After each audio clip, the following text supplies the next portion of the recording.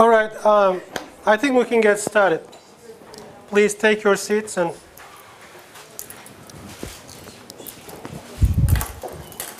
nothing compares to fresh to brew coffee in the morning, right?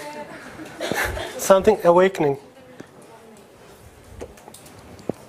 All right, um, unless you have any immediate questions about OPEDS, which I believe you have an idea as to what it is all about. And uh, by the way, Fatma, yes, please circulate this attendance. And would you please uh, put down two signatures, one for the first hour and the second for this hour. And your signatures will count and will be counted by my assistant at the end of the semester and will constitute some 15-20% of your overall grade. So I want you all to attend. And um, indeed, maybe we should not be taking attendance, but when I don't take attendance, my students tell me to take attendance because they want their attendance being present here be counted. Because some students have the habit of not coming to class at least regularly, and therefore those who come to class want to make a difference. So I think it is uh, better to take attendance to be on the safe side. And, and in some cases at the end of the semester, some students complain for having lesser grade than they would be expecting.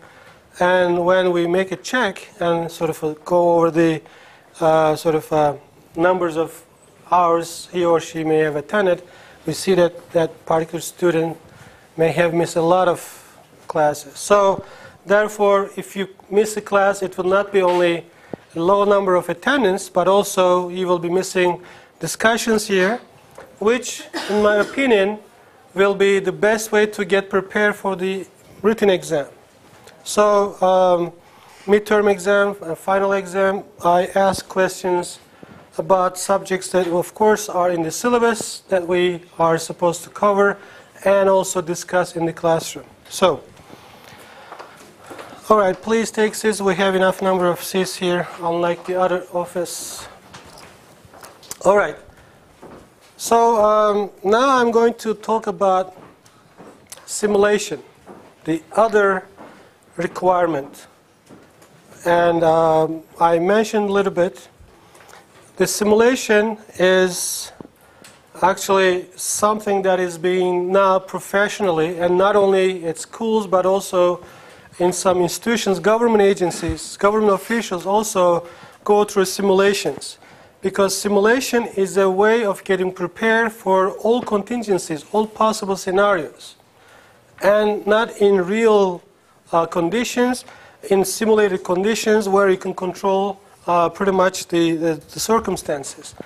Uh, especially these kind of simulations are carried out by uh, institutions, as I said, uh, these could be um, some government agencies, uh, diplomatic offices, etc before or ahead of time uh, when there is a big conference where there will be issues that will be debated by and large with the participation of other actors, other countries.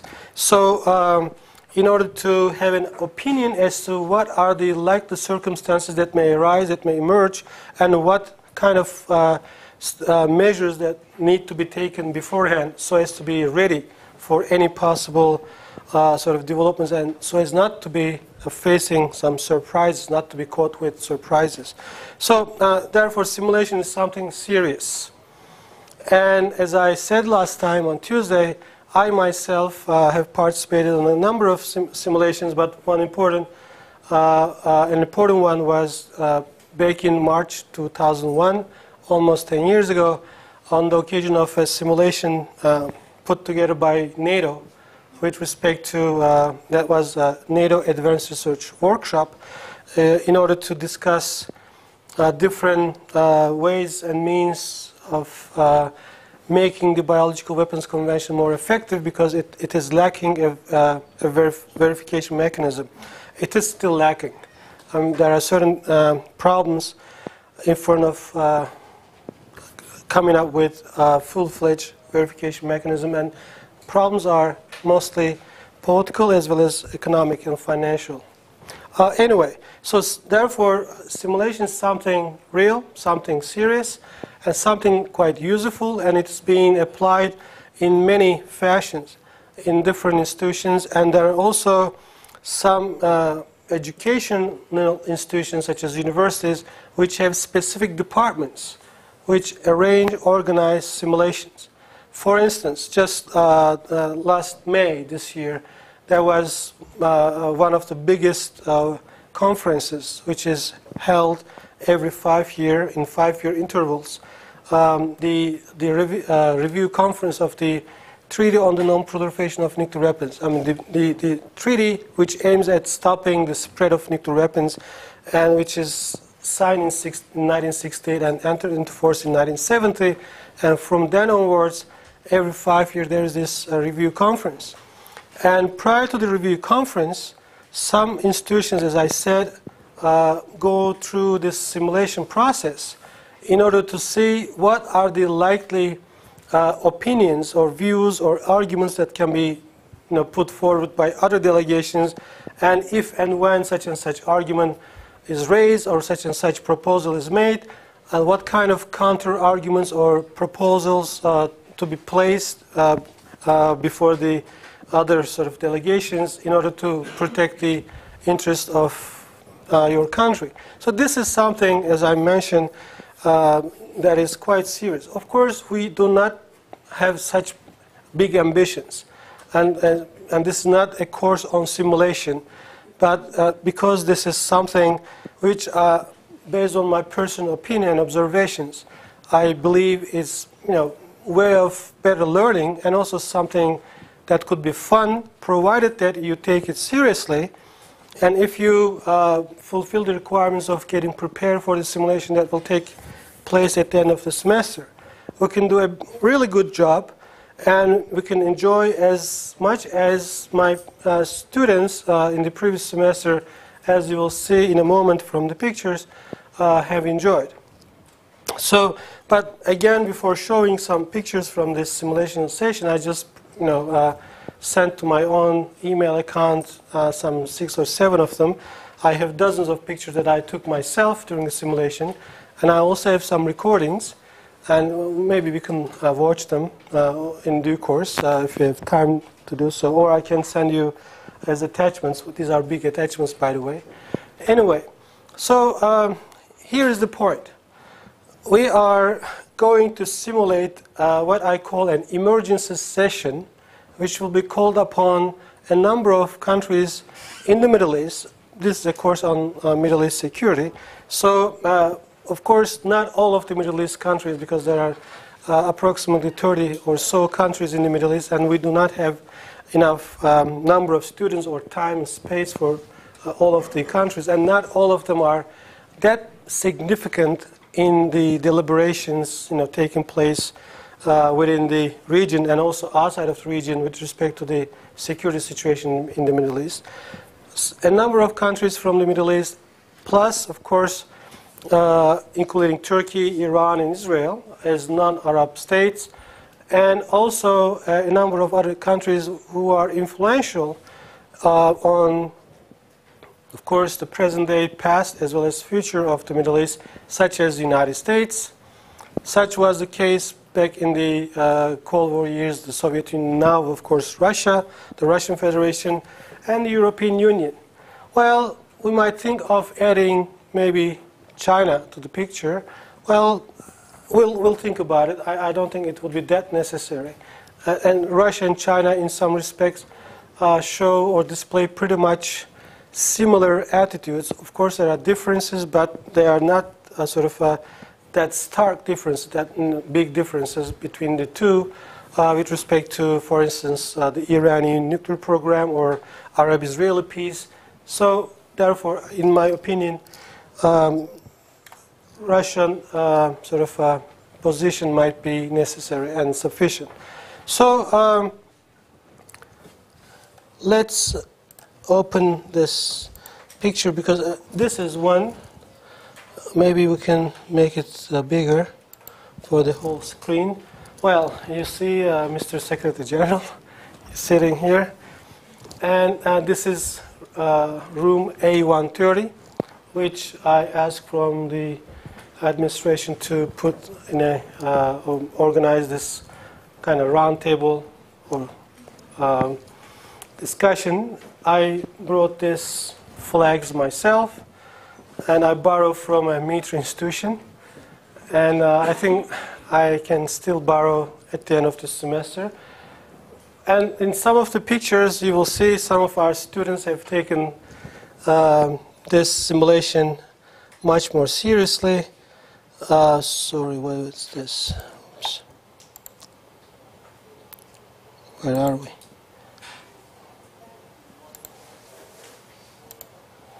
Not this. All right. Sorry.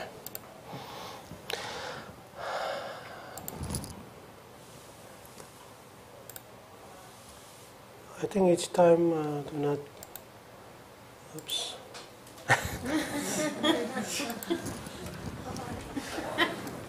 Iranian delegation. Can it be better?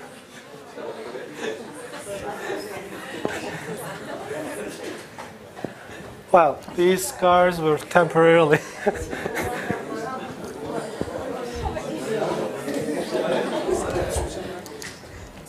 Remember, I uh, told you last time on Tuesday during this March 2001 simulation, the guy who simulated the Iranian head of delegation was a major from Israeli Defense Force.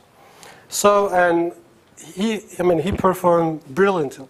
I mean, and everybody sort of concurred upon uh, this view that he was the master of simulation. He was, he did a very good job. I believe they are doing this kind of simulations not only in Israel but in many other institutions, in military institutions, uh, and uh, quite frequently because the best way to think as to what is likely to come from your opponent or from your enemy is to put yourself in the shoes of your enemy. And this is uh, because uh, there is this sort of a rather hostile relations between Israel and Iran. I believe Israeli officers as well as Iranian officers do simulate each other's sort of country and to try to think in terms of the other side's sort of uh, uh, uh, perspective, and, and therefore th this is important. But uh, uh, our student uh, has done a great job, and not only by way of appearance as an Iranian delegation or delegate or representative, but his interventions. I'm starting from his prepared statement, which was presented during the first session, but also uh, in his intervention in the following session uh, as a response to others' sort of uh, propositions or arguments or accusations, and also himself put uh, some proposals. And I know from my sort of discussions, from his consultations with me in my office, with his, uh, of course, uh, delegation members, team members, he was uh, sort of trying to um, kind of develop a, some sort of a pact, some sort of an alliance against pretty much, of course, specifically Israel and the United States and he uh, discussed some proposals, some issues with other delegations. So it was like uh, a real life situation from his perspective, and everybody said, I mean, uh, all of our students agreed that he performed the best. All right, let's um, see this one. Some pictures for you. Here you go. Uh, Syrian delegation are just look at him. He's trying to figure out as to what kind of proposal can I make here just to make life difficult. And he's quite a serious diplomat taking notes. And he's, uh, she's uh, at a delegation here. Again, um, some others like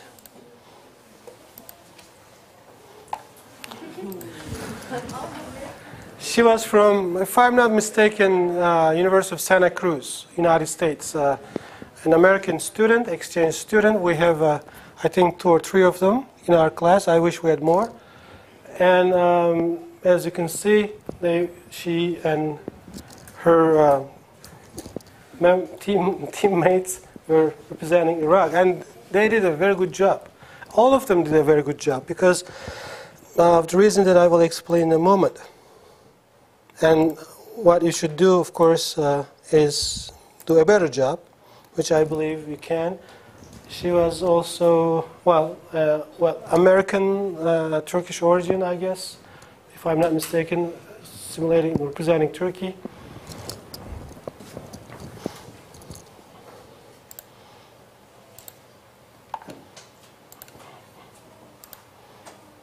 Yeah, Palestine, and she was a real Palestinian. She wanted to represent Palestine. She was, if I'm not mistaken, living in the United States as a uh, Palestine uh, uh, of Palestinian origin. And I thought it would be a good idea for a Palestinian to have the floor. Well, uh, in, a, in a foreign country, I mean, I would allow this, but for the purpose of this simulation, it is my suggestion and it is up to our exchange students to agree with me. You don't have to see this as a, as a condition, but I would prefer uh, our exchange students, as far as I can see, we have three of them. Yes, uh, Amelia and who, who else? Uh, the two are missing, as far as I can see right now, to, to represent Turkey. So in this way, you will have a chance to learn more about Turkey and uh, to uh, take advantage of your rather short stay, a short stay in getting to know Turkey better. Because uh, in the previous uh, simulation, we, we had three students again from the United States, and they have done an excellent job. I mean, they knew about Turkey's foreign policy and security sort of policies, etc., uh, much better than anybody, uh, I, I, mean, who would uh, sort of uh, know in the, in the class. I mean, they learn a lot in a very short time, and I believe they benefited from this. And because, uh, and this is something that can also be beneficial for our exchange students when they go back and apply for a job, especially and she, he was also from the United States, uh, simulating Israeli uh, head of delegation. And the last one, as I said, I can send many more if you like. Yeah, that was, uh, I guess, the picture which we saw at the beginning. All right, um, let's have this on the screen to inspire you as much as they can. Um, this simulation session will be a one-shot game. I mean, we will have only one day, and uh, starting uh, on Tuesday at 10:30. Well, two hours may not be sufficient, and we may have an, we may need an extension, and we have this lunch time, so we can extend into not all of your lunch time, but to the extent it is necessary, uh, we can use uh, this additional hour. But of course, in order for the simulation to be sort of uh, carried out properly, all of the delegations uh, must be ready and must be up to the point. And uh, it is important. So, how will you be getting prepared for it? As I said, you will not be yourselves, you will be somebody else. Simulation requires you to wear the suit of somebody else, to put yourself in the shoes of somebody else, to not only think but also act like somebody else, not yourself. If you are going to simulate a country other than yours, which will be the case, because as I said, I would like my foreign students to, exchange students to simulate Turkey. That will be a very good uh, opportunity for them to learn more about Turkey and benefit from this short stay of theirs. And um, since you will be uh, simulating other countries, unless you have any prior knowledge about these countries' foreign policies, which is not something quite likely as, as far as I can see. So you have to learn about these countries, the country that you will be representing, uh, uh the foreign policies and security policies of these particular countries. The first thing that you should do, as I said, now you have my email, you receive my email, and I mean, it, it is available everywhere anyway. And I will uh, send you um, a list of countries, and you will send me uh, three choices first, second, third choices of yours. And I will try to uh, fill in this uh, slots, as I said, like, like uh, Iran, Iraq, Syria, Turkey, US, etc. And there will be, as far as I can see, there are now 44, 45 students, and there will be, I think, 11 or so countries to be represented. And I think uh, there will be three or four uh, slots, positions for each country. So when you send me, uh, a, you know, uh, your email with three choices, and I strongly recommend you to send me three choices, because I mean, if you say I want to be a member of Syria, and if all of the slots are filled, then I will have no other option but to put you in one of the availables. But if you send me Syria, Iran, and US or US, etc., then I will check availability and put you uh, in one of these. Well, if you don't have any specific reason uh, to be a member of any specific country, I don't think you should be bothering as to which one you should uh, take on because, after all, whichever country you pick, you will have to be someone different than who you are right now. So therefore, I don't think it will matter. Some countries, you might think uh, uh, their job will be more difficult. Well, it will be maybe more difficult if that would be an extended simulation which would extend on to, I don't know, two, three, or four days. Some countries, such as Iran, such as Iraq, US, I mean, influential countries or countries whose names have always been mentioned in respect to uh, the Middle East security issues, then your job might have been more, um, more difficult. But since there will be basically two rounds of discussions, maybe three or two and a half, and in the first round there will be these uh, prepared statements. I mean, each delegation will, head of delegation, and you will pick up uh, among yourselves as to who should be the head of delegation.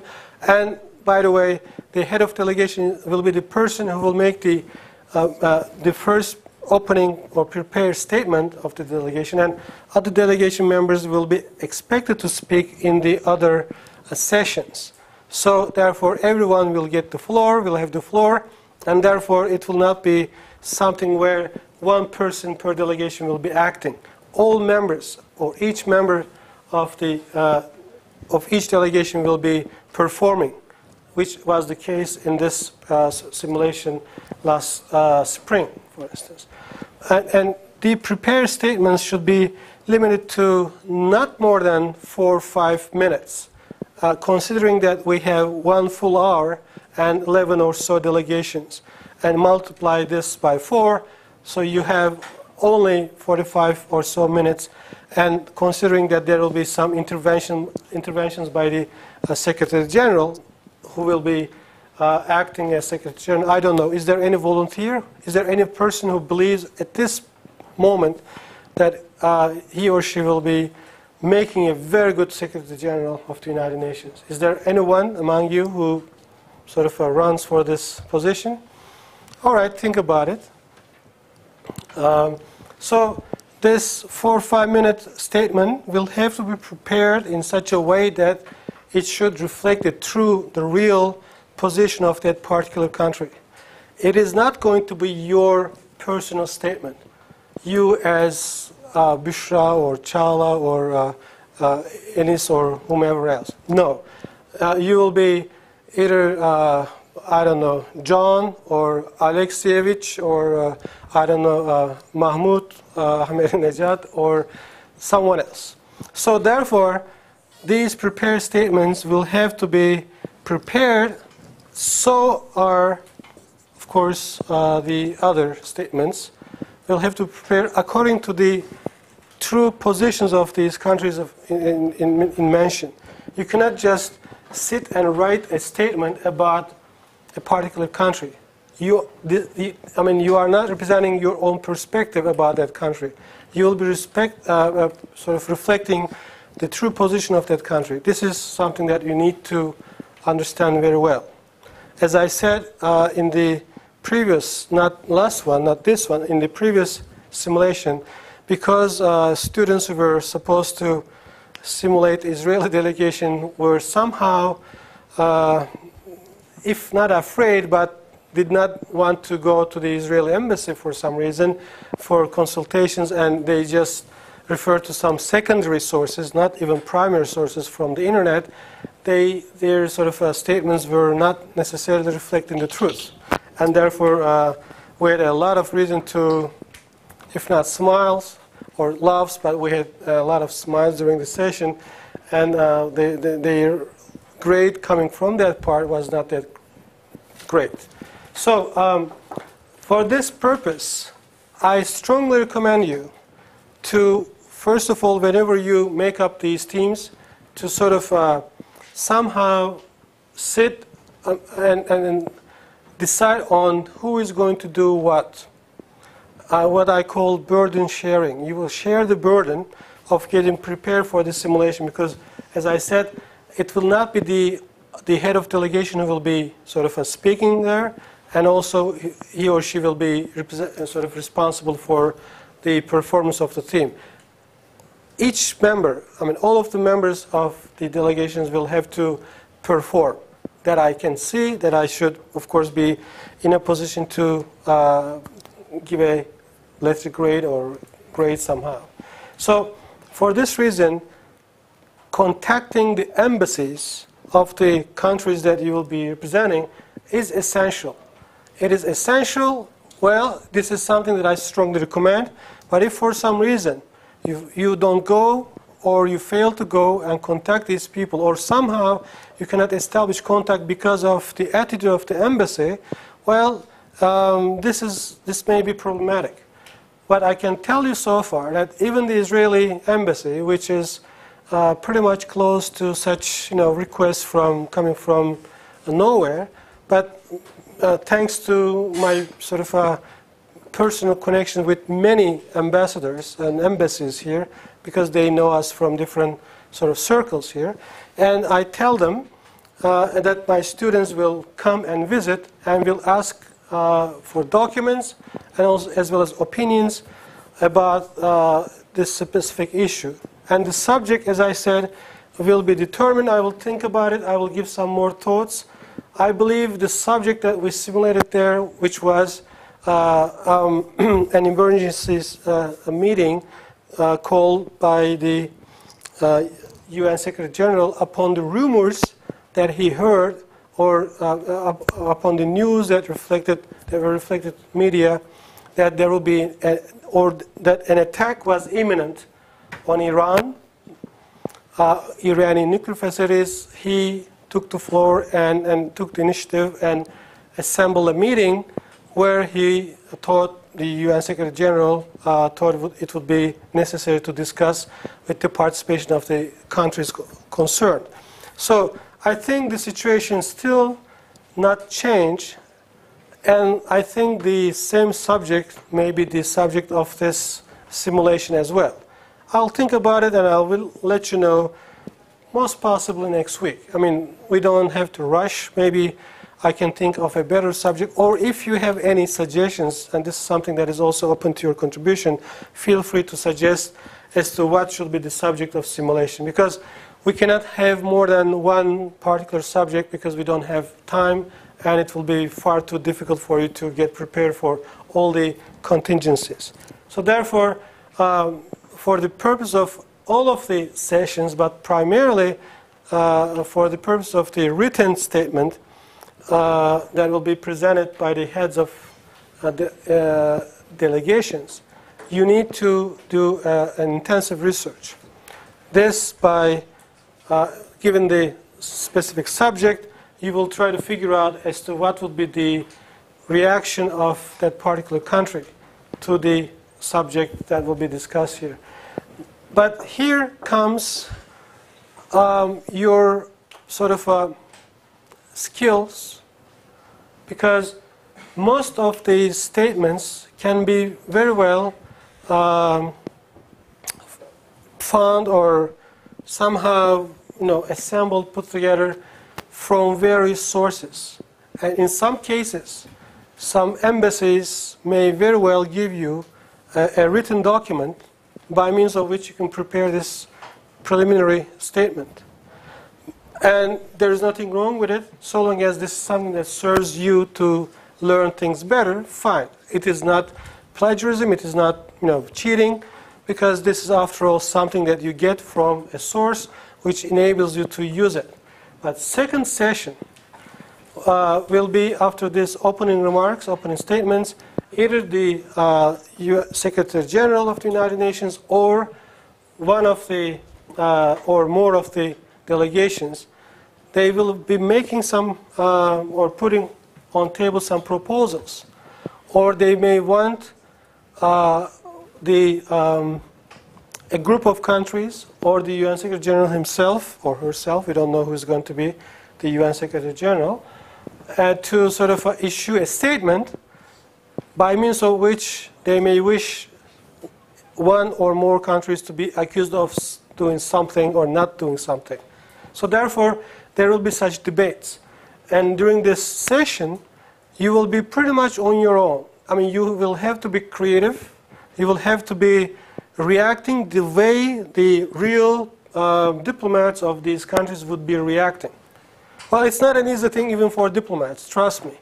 And in most cases, diplomats, before reacting to a proposal, they need, they need to consult these sort of uh, issues with their headquarters, meaning the, their capitals, and these consultations must be done in a very quick manner so as not to uh, lose the floor and give a quick reaction. And if necessary, maybe come up with a counter uh, proposal or something like that. So therefore, I will appreciate that the, your task will not be that easy, but the better you perform here, the better uh, or, or, more fun you will get out of this simulation, and also, of course, better grades uh, at the end. Well, this third hour, uh, if necessary, we'll see where it will be necessary, and in most cases, I think will be, in most likelihood, it will, it will be necessary, and we'll try to cut it short uh, so as not to sort of uh, uh, exhaust you more than necessary. But this session, again, might be a session where some proposals to wrap up a, a, statement, a final document, if possible, which is not very likely in an environment like this where you have Israel, Iran, United States, Russia, and some other countries. But of course, something that we cannot uh, know in advance as to what will come out. So simulation in this uh, manner, again, will be uh, something that you will have to be dealing with throughout the semester again, as I said on Tuesday, and something that I need to repeat and maybe uh, give you a more uh, sort of a specific information. Once we make up the themes, once the themes are fixed, the first thing that I will ask from you is to will be to get together. I mean, whether you meet here in the Mozart Cafe or elsewhere in the cafe break or or Ankuwa, wherever, or in dormitory or in classes, the first thing is to get together with all the team members. And in, in some ways, well, it's going to be a little bit of an extra burden for you. It, in some ways, it's going to be your job, your task, to have your, all of your friends on board at all times. So if one or more of the team members will just um, uh, be deserting you at all times, will not be coming to meetings, in consultations, or to my office, of course, you should let me know in advance so that, I mean, uh, I can take some measures. Uh, maybe uh, there is some um, lack of communication. But I will not tolerate any team members to cheat or just to treat others as if he or she doesn't have any responsibility. Each one of you will have equal amount of responsibility. This is uh, therefore for, for sure. And at the beginning, you have to agree upon certain uh, terms, certain conditions as to how to work together. So you will uh, share the burden, and it is up to you as to how to decide on how to share the burden. Then the second thing, I will ask you to uh, fix an appointment with me by way of sending me an email, of course, to be replied by me and to be given a specific uh, appointment on a particular day and time in my office. And each time, unless uh, someone has really a, a, serious situation for being absent, serious reason for being absent, I will expect all team members to be in my office at this particular time. And I will do my best to meet with you every two weeks. Maybe it would be better to meet with you every week, but I think that might be far too uh, much uh, because I know some of you are taking more than five or six courses. So I don't want to put any additional burden other than necessary. So, and every time you come to my office, we will be discussing how much you progressed and whether there is any problem in communicating with the embassies. And by the way, if you believe just by way of communicating the embassies that will be it, no. I mean, you will have to make research from various sources. Of course, internet is getting and every year a much better and more reliable source, but you cannot rely on everything you find in the internet. So therefore, you have to be uh, checking the uh, veracity, reliability of these sources during your uh, discussion with the embassy people and also from other sources. And by the way, um, the sooner you contact the embassies, the better. I know from our experience in the previous and last sort of uh, simulation sessions that some embassy people were either reluctant or quite slow because of their other sort of uh, responsibilities, or maybe because there was a message, you know, uh, which was lost in uh, in all these uh, sort of uh, communications, which they were not notified on time. So it may be at the very last moment that you, you know, get to know these people and uh, have established an, an, an, appointment, and it may be a little bit late. So therefore, the sooner you contact embassies and the sooner you make sure your messages uh, has gone through, and expect a, a, a reply. And if you don't get one, you should be insisting and of course, uh, going to the embassies not just by way of calling or sending an email. You go to embassies by making an appointment, express yourselves, uh, present yourselves as being students of Bill Bilkent University, which is a way, which is actually a source of uh, prestige, a privilege. Bill Bilkent students, just like professors and the university itself, is a very privileged institution here. So most embassies welcome Bill Bilkent students for any uh, such request. Again, uh, with respect to this uh, research, um, maybe you should be sort of uh, telling these uh, guys from the embassies whom you will be contacting, uh, if not regularly, but at least one or two times, then that this is going to be a serious simulation, and the better they, or more they help, the better will be perf the performance of their country.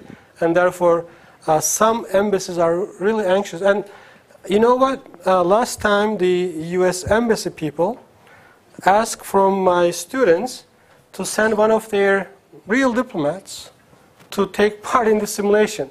And my students from the American team asked for my per permission. I said no because, uh, because that would be quite an imbalanced situation.